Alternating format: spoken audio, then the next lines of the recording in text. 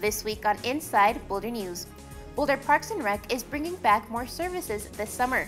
Local communities, including Boulder, seek climate justice and see what projects are in store for the city's Vision Zero action plan.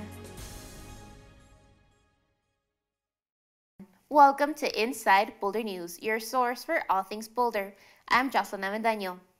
In 2018, the city of Boulder joined the Boulder and San Miguel counties in a joint lawsuit against two oil companies to recover climate change costs. They demanded that the companies pay their fair share of the costs associated with climate change impacts. Late last month, the U.S. Supreme Court denied ExxonMobil and Suncor's request to move the lawsuit into federal court. Instead, the cases will proceed in Colorado State Court. In 2018, three Colorado communities, the city of Boulder, Boulder County, and San Miguel County, sued two big oil companies, ExxonMobil and Suncor, to recover climate change costs. This case is not about changing national climate policy. It's really about accountability for the climate harms in Colorado that companies like Exxon and Suncor are responsible for. These Colorado communities have demanded that the companies pay their fair share of the costs associated with climate change impacts. In the past, there have been similar climate lawsuits made in coastal areas like California and New York City. This lawsuit, however, is the first made by a city in a landlocked state. For several years, Exxon and Suncor have fought to keep the case out of state court, arguing that our claims should be heard by a federal judge. So every court that's reviewed this case has come to the same conclusion, and, and that is that it should be heard in a local court by a local jury. The Supreme Court also rejected petitions in four similar climate cases where the fossil fuel companies pressed the same arguments for federal jurisdiction. The Supreme Court ruling means that after five years of fighting over federal versus state court, the case can now move forward to trial in Colorado. It's important for people to recognize that these kind of cases are, are under a lot of scrutiny because I think they're perceived as trying to change um, climate policy at the national level. And I really want to stress the fact that this is a case that is really around damages. So it, we, as taxpayers in local jurisdictions, are paying for the impacts of climate change today. We're going to continue to have to pay. And so what we're seeking is uh, those that are also responsible, meaning the fossil fuel companies, to pay their fair share. So this is really about damages and, and uh, climate accountability.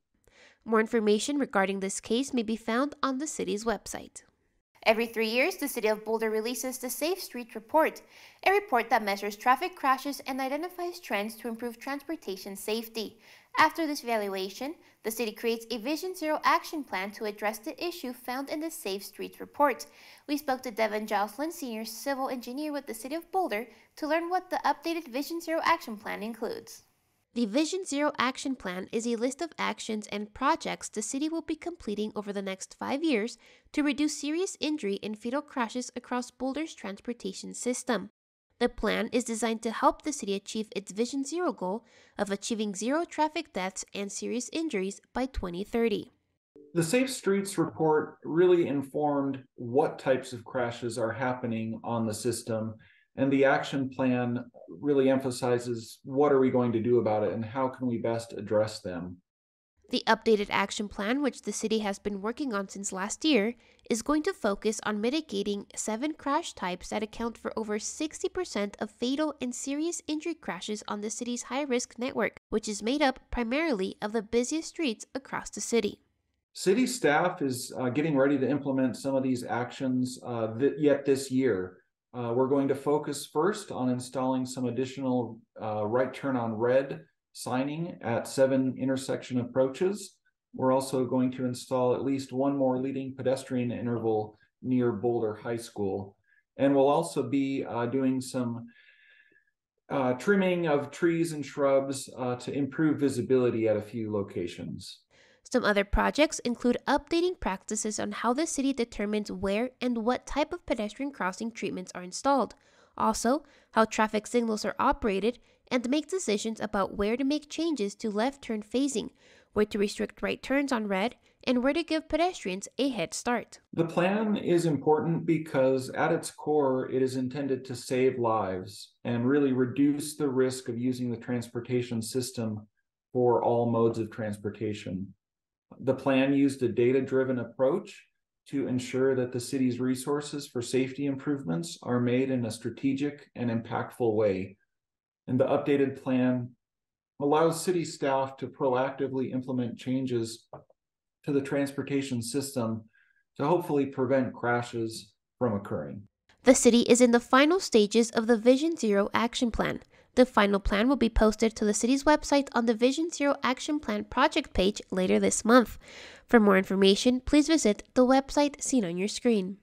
Boulder has been working through the winter and spring seasons to hire enough seasonal staff for peak summer fun.